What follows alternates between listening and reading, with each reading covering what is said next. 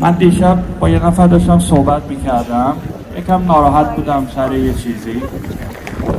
ایشون با من شروع کرد صحبت کردن. گفت من 20 سالم بود. 20 سالم بود. شب تابستون رفتم بیرون آشغال بریزم بیرون کنار خیابون. اون روز اون شب اومدن ایشونو کردن تو یه گونی. سیزده سال هشت ماه و ده روز تو زندان ها نصف بدنش رو انقدر زدن انقدر زدن نصف بدنش رو کار نمی‌کنه. ببینید که این دشمن ما چه چه کسانی هستند چه بیشرمن چه بیرحمن. آقای پدر خانم غزال شهرمند. تو دوبی روز روشن تو فرودگاه. اومدن کیدنپش کردن. اشخاص که تو خاک اروپا کشتن. تو همین شهری که الان هستیم یک عالم جاسوس جمهوری اسلامی هست. یک عالمه. و ولی من مطمئنم که نور همیشه رو تاریکی می‌بره.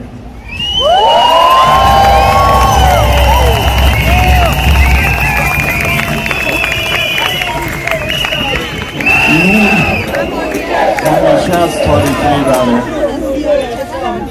سال نو ما سال نو ما روزی شروع میشه که این رژیم قاتل از بین بره. و ما بتونیم کنار هم با کمک هم بتونیم یک کشور آزاد زیبا برابر بتونیم بسازیم که کسهایی به خاطر عقیده هاشون شکنجه نشن. کسایی که تو خیابون میرن فقط از حق حقوقشون می‌خوان حرف بزنن. و این روز و این روز میاد.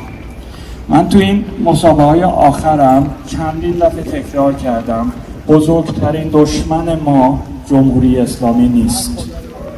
بزرگترین دشمن ما جمهوری اسلامی نیست. بزرگترین دشمن ما ناامیدیه که جمهوری اسلامی سعی می‌کنه بین ما پخش بکنه.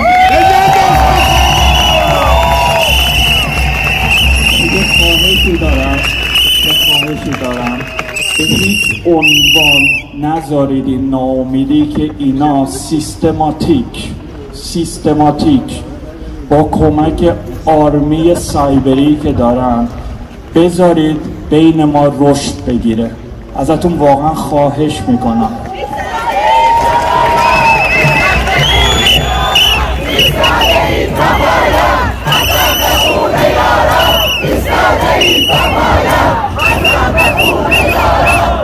شما اینجا اومدید به خاطر آزادی مردم ایران. به خاطر آزادی مردم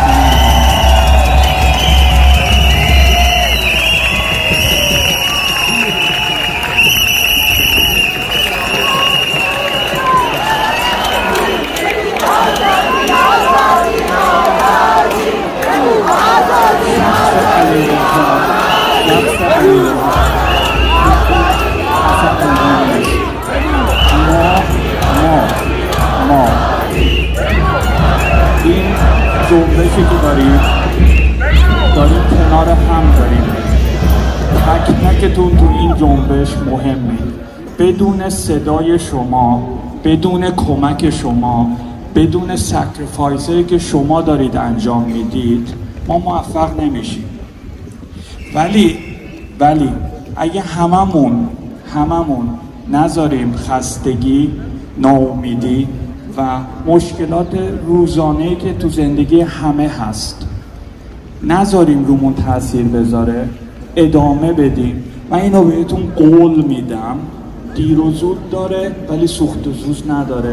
من مطمئنم سپاه پاسداران به عنوان تروریست اروپا اعلام کنم. مطمئنم این قول رو من بهتون میدم. الان دوباره میریم مذاکراتی که تو اتاقای اون ساختمون های اون پشت انجام میشه. با وزیرا با سفیرا با نماینده های پارلمان های مختلف مذاکرات خیلی زیاده. چندین کشور چندین کشور به من شخصا گفتن تو پابلیک گفتن که می‌خوان سپاه پاسداران تو لیست تروریست اروپا بره. چندین کشور اینو به من